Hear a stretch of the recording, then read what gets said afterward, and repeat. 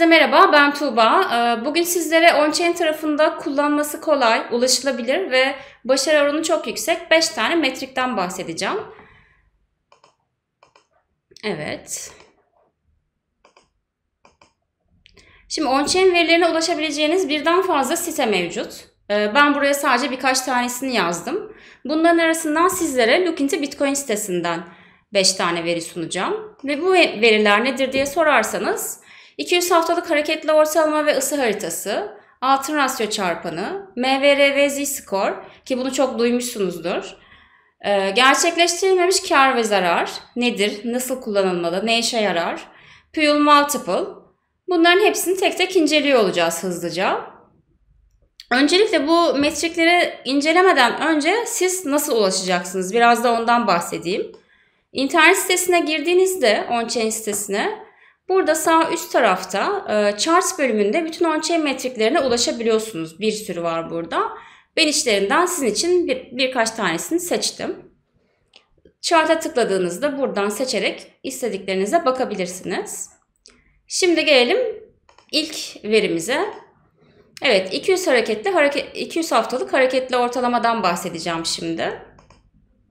Şimdi normalde 200 haftalık hareketli ortalama e, Bitcoin sezonlarında ayı sezonunun sonunda alım fırsatının geldiği ilk yer olarak e, düşünebilirsiniz.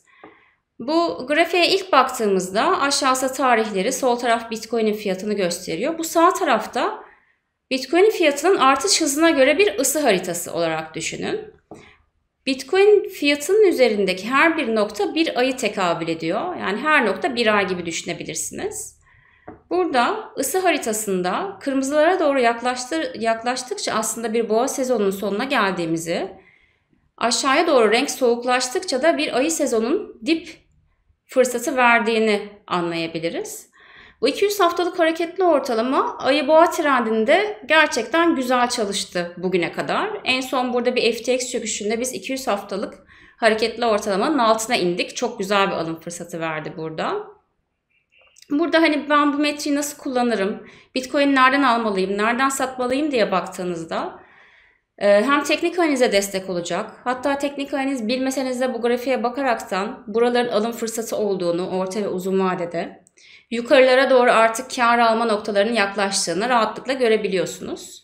Ve uzun vadede bu 200 haftalık hareketli ortalama, hareketli bir ortalama olduğu için yükselerek devam eden bir ortalama. Bu da hani Bitcoin'in arkasındaki matematiksel e, yapı ve e, Bitcoin arzı ve kıtlığı nedeniyle devamlı yükseliyor. Arkasında o var. Burada şunu yapabiliriz.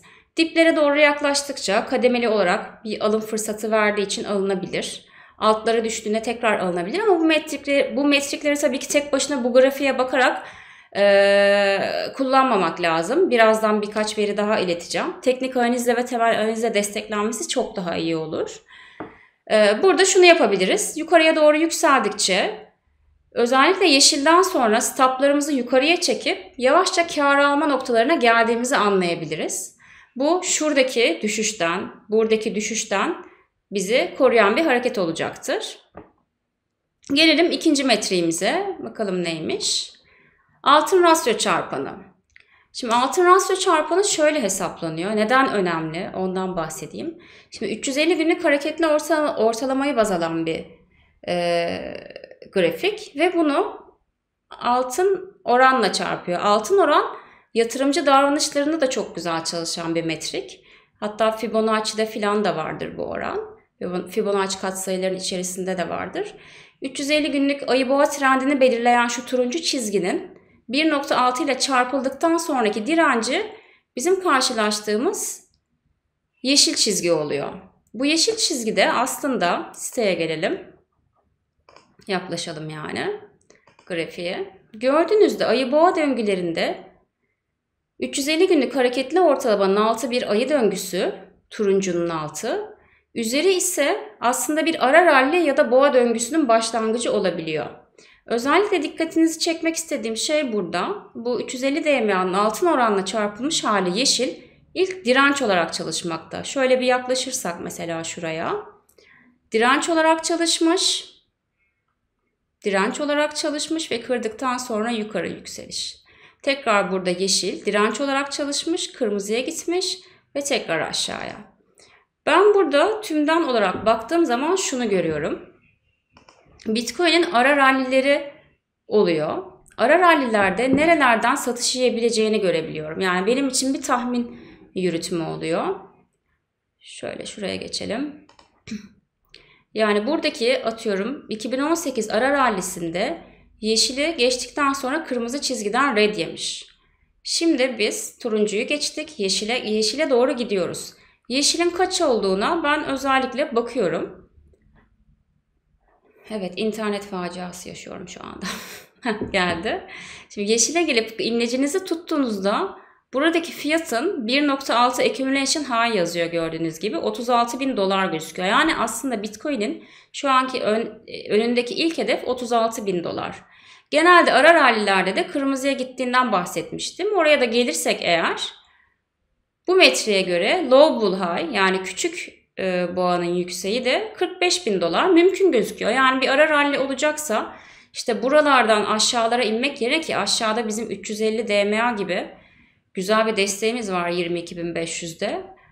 Hani yukarısı daha olası gözüküyor açıkçası. Ama tabii Bitcoin bu. Burada sadece hani turuncunun altında alım yeri olup ara rallilerde ya da tepelerde satışın yaklaştığına bakıp dirençleri rahatça görebilirsiniz. Bir kontrol edeyim. Evet yayın akışta. Diğer metriğimize geçelim. Hatta ben bunu bir tweette paylaşmıştım. Bir saniye onu şuraya link olarak eklemiştim. Gidelim bağlantıyı açalım. Mesela bu tweette bu zamanlarda Bitcoin ben bu fiyatı paylaştığımda Bitcoin bir anda şuradaki yataydan destek alıp 19.500'den destek alıp 31 binlere kadar yükseldiğinde alamayanlar gerçekten çok üzülmüştü çevremde spot alamayanlar kaçırdım dipten alamayanlar diye. Ben de on-chain verileri ve teknik analizi birleştirerek burada bir eğer hiç spot bitcoin almasaydım ne yapardım gibi paylaşımda bulundum. Ve bunun içerisinde de bahsettiğim ilk olarak 200 haftalık hareketli ortalamaya değdiğinde şurada yazıyor 26.100'den bir kademe. Atıyorum Golden Ratio Multiplier'a göre tekrar şuradaki 350 DMA'ya düşerse bir alım 22.200 ki keza düşmedi. O yüzden en azından 200 haftalık hareketli ortalamadan almak bir kademe pozitif bir şey. Ve teknik analize göre haftalık boyun kırılımına inerse buraya bir alım fırsatı vereceğini söylemiştim. En son aşağıda bir gap'imiz var. Gap'e bir bakmak gerekiyor. Buraya da gelirse ileriki dönemlerde 36-45'i görecek gibi gözüküyor on-chain'e göre. Buralardan da tekrar buraya gelmesi de mümkün alım fırsatı olabilir ve %20'de cash bırakabilir gibi bir senaryo çizmiştim. Hani özellikle bunları bu şekilde değerlendirebilirsiniz. Aynısının tabi satış versiyonu da en tepede satamadım şimdi nereden satayım gibi baktığınızda da e, ara rallilerde de e, bakın şurada bir ara ralli yani düşerken de bir çıkış fırsatı verdiğini görüyorsunuz. 350 DMA'dan destek alıp 1.6 ile çarpılmış kat sayıya gidip tekrar düşmeye devam ediyor. Yani destek ve direnç olarak bakabileceğiz metriklerden bir tanesi. Gelelim üçüncü metriğimize. MVR ve Z-score. Ya bunu çok duyuyorsunuz ama ne olduğundan ben biraz bahsetmek istiyorum ve ne işe yaradığından. Yani MVRV'nin açılımı şu, market value ve realized value'nun bir skorlanmış hali, birbirinin farkından çıkarılıp skorlanmış hali. Hani market değeri ne demek derseniz Bitcoin'in market değeri bizim şu gördüğümüz e, hatta şeye gelelim. Gerçek siteden devam edelim. Bitcoin'de gördüğümüz şu, şu Bitcoin'in fiyat hareketi siyah olan. Market değeri bu. Yani Bitcoin'in adediyle yani marketteki adediyle şu anki fiyattan çarpılmış hali market değerini veriyor. Peki realized value nedir? Gerçek değeri nedir? Gerçek değeri de şu. E, piyasadaki Bitcoin'in en son hareket ettiği tarihteki fiyatıyla çarpılmış hali. Yani aslında Bitcoin'in gerçek fiyatı. Kimisi 8 sene önce alınmış, kimisi 5 sene önce alınmış ve onun o anki fiyatından çarpılmış değerini hesaplıyorsunuz ve aslında bu şu demek. Realized value, gerçek değeri eğer realized value'nun üzerinde bir alım yaptıysanız pahalıya almışsınızdır. Realized value'nun altında bir alım yaptıysanız spot alım uygun fiyatlı bir bitcoin almışsınız anlamına da gelebiliyor aynı zamanda. Peki bu metrikte bunları nasıl kullanıyoruz? Şimdi bu grafiğe baktığımızda aşağıda tarihler, sağ tarafta formülün sonucunda çıkan MVR ve Z skorumuz var. 0, 2, 4, 6, 10 diye gider. Sol tarafta Bitcoin'in fiyatı var. Şimdi şu Bitcoin'in fiyatı, gerçek yani market fiyatı, market value siyah olan. Şu mavi olan da bahsettiğim realized value, gerçek fiyatı. Ve bu da bu arada destek olarak çalışır. Şurada bakın Covid çöküşünde ne kadar güzel bir destek olarak çalışmış. Yani Bitcoin'i gerçekten gerçek değerinden satın aldığınızı ifade ediyor. Ben bu metrikte döngülere baktığım zaman şunu görüyorum. Hatta bununla ilgili tweet'e geçeyim ben. Ha, şundan da bahsedeyim. Sıfır değeri eğer MVR ve Z skor sıfırın altındaysa orta ve uzun vade alım fırsatları veriyor. Onu da direkt şöyle yapalım. Hmm. Onunla ilgili bir e, tweetim vardı benim. Açalım. Evet açıyoruz. Geldik. Şimdi bunu ben nasıl değerlendirdim? Şöyle değerlendiriyorum. Şimdi geçmişte baktığımda 2012 ara yükselişi burası ve bu ara yükselişte bu Z skor yani şu sarı çizgi şu bölgeden red yemiş. Red yediğinde ara rallide bir düşüş olmuş. 2016 ara yükselişine baktığımda bu seviyeye 2 değerine gelmiş MVR ve Z skor ve tekrar satış yemiş. 2018 ara yükselişinde de aynı şekilde. Ve şimdi biz 2013 ara yükselişi acaba sonlandı mı yoksa devam mı edecek diye bir bakıyoruz, anlamaya çalışıyoruz. Yani açıkçası bana göre eğer ki döngüler e, geçmiş tekerrür edecekse ben Bitcoin'in buradan aşağılardan ziyade yani şu sıfırı kırmasından önce bu bir desteğinden destek alıp buralarda biraz oyalanıp yani iki değerine gittikten sonra satış yiyebileceğini e, düşünüyorum. Ya bunları bu şekilde yorumlayabiliriz. Tabii bunlar kesin ve net şeyler değil. Yanında teknik analiz, price action gerektiriyor, temel analiz gerektiriyor.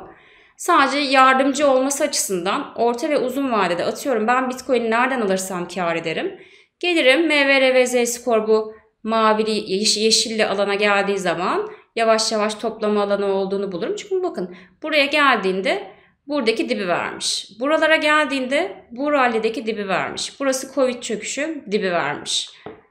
Burası bu sene yaşadığımız çöküş dibi vermiş. Hatta burada yatay çizgilerle destek direnç olarak da çok güzel çalışıyor bu metrik.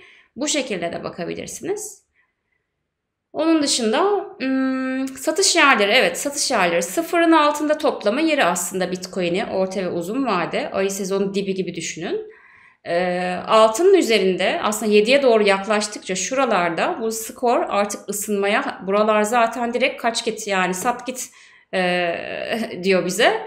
Altın üzerine çok dikkatli olmak gerektiğini söylüyor.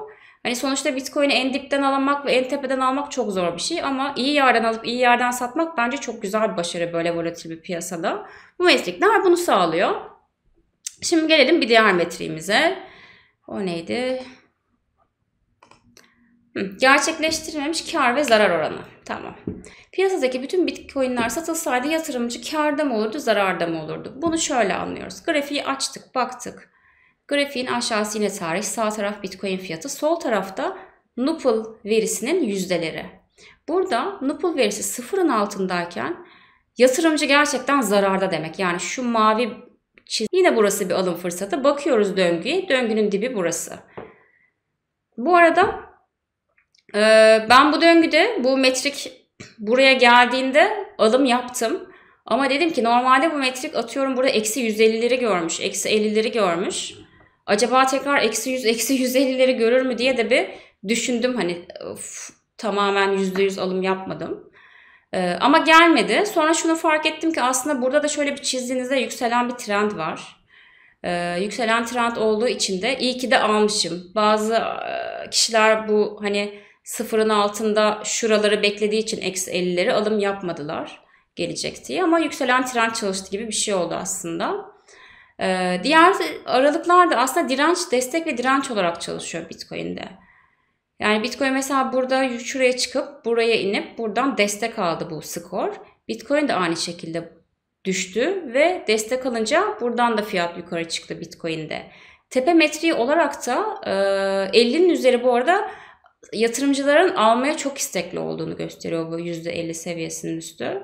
Ama artık 75'lerden sonra yani 75'e doğru daha doğrusu 75 ile 100 arasında satış odaklı bakmak gerekiyor. Bu çünkü her an bir balina satıp bizi terste bırakabilir gibi de düşünebilirsiniz ama hani bu döngüsel çalıştığı için e, illa balina diye bakmayın. Market maker olur, balina olur, temel analizde bir şey haber uydurulabilir. Yani bunun 50'nin üzerinde hızlı yükselme olur. 75'ler, 70-75'lerden sonra hızlı düşüşler yaşayabiliriz. Buralarda stop çekme ve kar almayı değerlendirmek gerekir diye düşünüyorum. Son metriğimize geçiyorum. Son metriğimiz Stipule Multiple.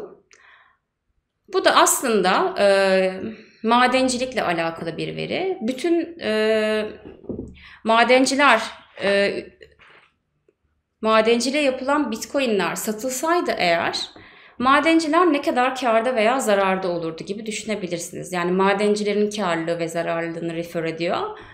Burada da metriklerde işte sağ taraf bitcoin'in fiyatı, burada skorlar sol tarafta burada. İşte e, 4'ün üzerinde bir risk oluşuyor burada. Şurası bir seviyesi bu arada.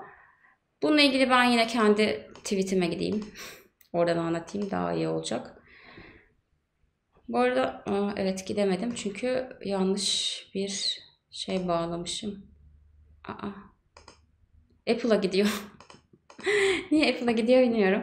Neyse ben bulurum şimdi onu 2 saniyede diye düşünüyorum. Gelelim. Nereden? Şöyle şuralarda bir yerdeydi. Neredesin Nupul? Bence yaklaşıyorum. Heh buldum evet. Burada da bakıyorum yine döngülere. Şimdi burada Bitcoin'in bir ara rallisi var. Burada biraz tweetlerim ara ralliye odaklı ben analizler yaptım burada ama hani her türlü dip ve tepe metri olarak da kullanacaksınız, anlayacaksınız. Buralarda mesela fiyat geldiği zaman ara yükselişe şuradan bir yatay direnç çizdiğimde buralara geldiğinde fiyat hep ara rally yükselişini yapıp bir düzeltme vermiş. Yükselişini yapıp bir düzeltme vermiş. Burada bu skor yani e, Pure Multiple 4'ün üzerindeyken riskli bir seviyeye geliyor. Bu şu demek. Madenciler karda. Madenciler ne kadar kardaysa o kadar çok satış odaklı bakıyorlar. Ve metrik şu sarı olan 4'ün üzerine çıktıkça Bitcoin'deki düzeltmelere bakın. Burada bir düzeltme. Bu çıkmış. Bitcoin'deki düzeltmeye bakın. İşte çıkmış burada madenci karlılığı çok artmış. Düzeltmeye bakın.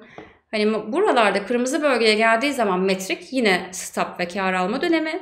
Yeşillerde madencilerin zararda olduğu dönem. Artık makineleri kapattığı, hash gücünün e, zayıfladığı e, bölge olarak değerlendirebiliriz. Buralarda da madenciler biriktirme odaklı olurlar. Yani ellerindeki bitcoinleri onlar da hodl etmeye başlarlar. Çünkü zarardadırlar. Buralarda bizim için madencilerin zararda olduğu ve Bitcoin fiyatının dip olduğu, herkesin bu biriktirmeye, madencilerin biriktirmeye başladığı yer olduğu için fiyat da buralardan sonra hızlı yükselişler görülür. Yani buralarda bir toplama alanıdır bu metreye göre. Bakın burası fiyatta dibi göstermiş. Burası da dibi vermiş. Ee, burası da dibi vermiş. Çıkıp bu dirençten orta raydan tekrar buraya düşmüş. Bu da Covid düşüşüydü zaten fiyatta. Yine buradan al demiş bu metrik.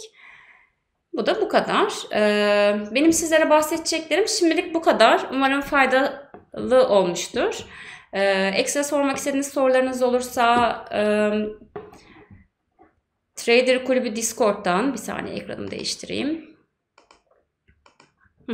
Trader Kulübü Discord'undan ulaşabilirsiniz, Twitter'dan ulaşabilirsiniz. İstediğiniz başka metrikler varsa tekrar bir kısa bir video çekeriz.